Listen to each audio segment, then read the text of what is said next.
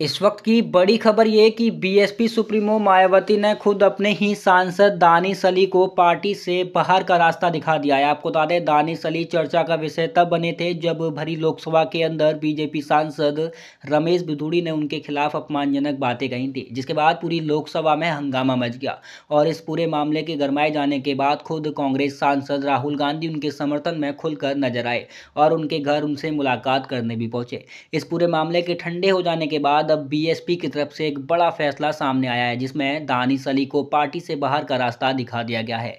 एक लेटर जारी कर दानिश अली को पार्टी से निलंबित करने का आदेश जारी कर दिया गया है। आपको दाने लेटर में लिखा है, आपको अनेकों बार मौखिक रूप से कहा गया कि आप पार्टी की नीतियों, विचारधारा एवं अनुशासन के विरुद्ध जाकर कोई भी बयानबाजी व कृत्य आदि ना करें, परंतु इसके बाद भी आप लगातार पार्टी के विरुद्ध जाकर कृत्य कार्य करते आ रहे हैं।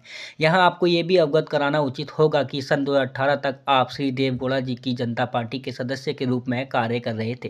तथा कर्नाटक में सन दो के आम चुनाव में बहुजन समाज पार्टी और जनता पार्टी के साथ गठबंधन करके चुनाव लड़ा गया था। तथा इस गठबंधन में आप श्री देवगौड़ा जी की पार्टी की तरफ़ से काफ़ी सक्रिय रहे थे। कर्नाटक के उक्त चुनाव के नतीजों के आने के बाद श्री देवगौड़ा जी के अनुरोध पर आपको अमरोहा से बहुजन समाज पार्टी के प्रत्याशी के रूप में टिकट दिया गया और इस टिकट के दिए जाने के पूर्व श्री देवगौड़ा जी ने यह आश्वासन दिया था कि आप बहुजन समाज पार्टी का टिकट मिलने के उपरांत बहुजन समाज पार्टी की सभी नीतियों व निर्देशों का सदैव पालन करेंगे और पार्टी के हित में ही कार्य करेंगे। इस आश्वासन को आपने भी उनके सम... इसी आश्वासन के बाद ही आपको बीएसपी की सदस्यता ग्रहण कराई गई थी और अमरोहा से चुनाव लड़ाकर तथा जिताकर लोकसभा में भेजा गया। परंतु आप अपने दिए गए आश्वासनों को भूलकर पार्टी विरोधी गतिविधियों में लिप्त हैं।